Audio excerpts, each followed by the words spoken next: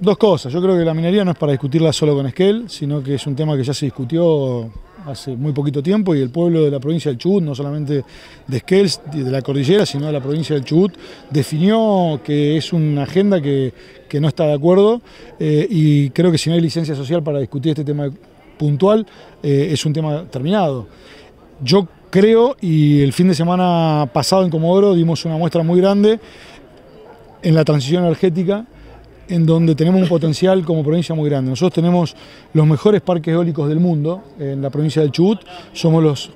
los, primeros generadores de energía alternativa de la Argentina. Chubut genera con sus parques eólicos el 29% de la generación eh, alternativa de nuestro país y tenemos un potencial para poder exportar energías limpias como es el hidrógeno verde, por ejemplo, donde llevamos adelante un foro de transición energética muy importante con empresas privadas, con el Estado Nacional presente, con la Secretaría de Energía de la Nación, con embajadores de distintos lugares del mundo y ahora